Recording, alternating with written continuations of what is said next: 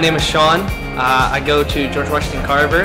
I am in the 12th grade, and the reason we're doing this video is to show everyone some of the fun things that I enjoy and some of the awesome things that I love to do and participate in at Carver.